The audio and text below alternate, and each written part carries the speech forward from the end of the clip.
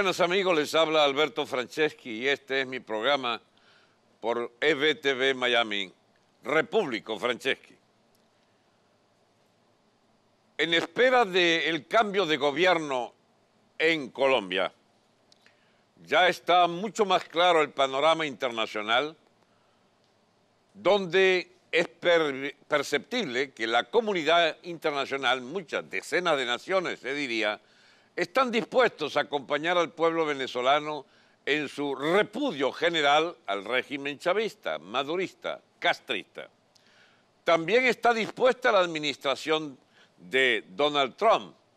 aunque falten las elecciones de midterm de noviembre,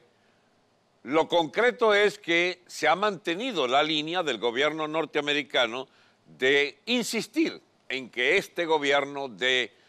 eh, ampones de Venezuela tiene que marcharse.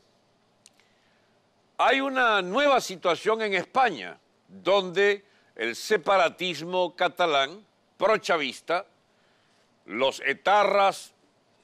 a través de Bildu, han hecho con catalanistas y otros factores de los nacionalistas un gobierno precariamente de una mayoría muy espúrea,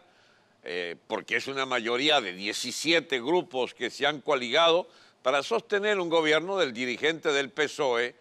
que no tiene sino la cuarta parte de los escaños necesarios como partido y como líder, pero le hicieron pues una mayoría artificiosa para emprender una nueva política en España que está abriéndose paso sobre la base de grandes estropicios, daños inmensos que causa a la unidad del Estado español por la alianza con los separatistas y secesionistas. Pero ¿por qué lo traigo a colación? Bueno, porque así será la presión de también la opinión pública contra el madurismo diosdadismo que el gobierno, aún de esta eh,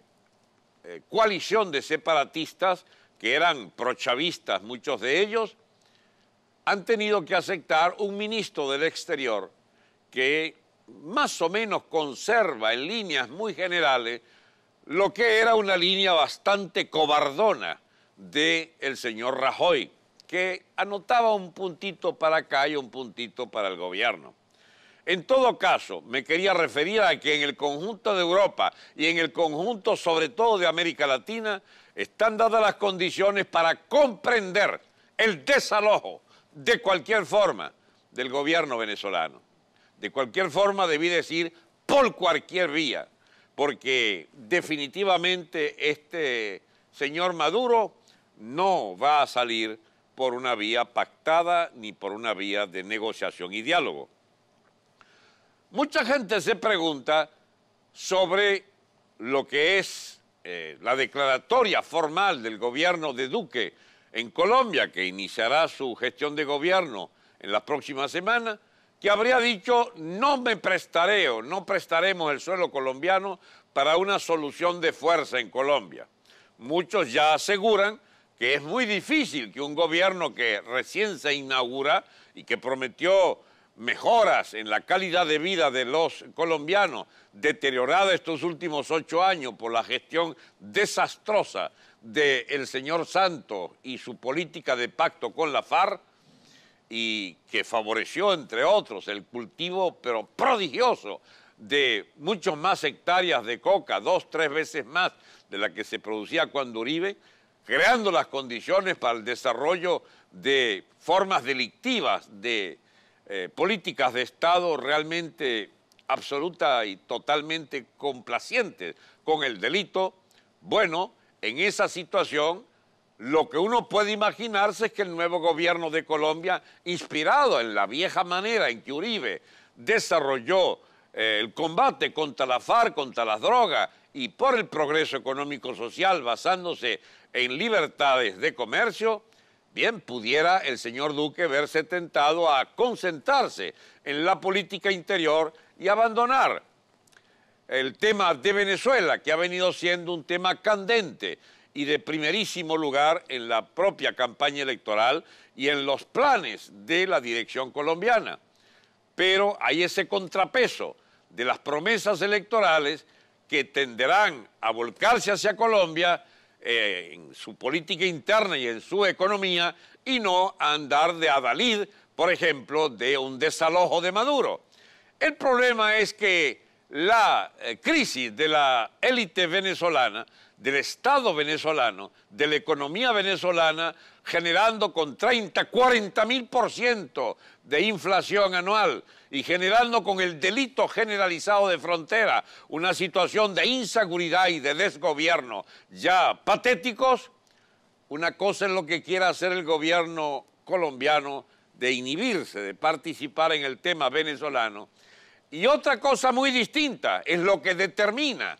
la dinámica de esa frontera común, la dinámica de esa geopolítica del área, donde le toca a Colombia, quiera o no quiera, inmiscuirse en la solución del tema venezolano. Por ello quiero decir, solución del tema es solución de la crisis sin salida bajo el Estado chavista y que deberá sencillamente recurrir a las fuerzas de un Estado vecino como Colombia para ser parte de las soluciones militares incluso del el tema venezolano. Adelantándose a eso, el bicharraco este carreño, el ladrón de cantinas militares, y se conoce que fue expulsado de la Fuerza Armada precisamente por echarle mano a los recursos, me imagino, exiguos de aquella cantina militar hace 20 años, pero que guardó las viejas mañas y se ha convertido en uno de los símbolos de la corrupción del gobierno, ese, ese tal Carreño,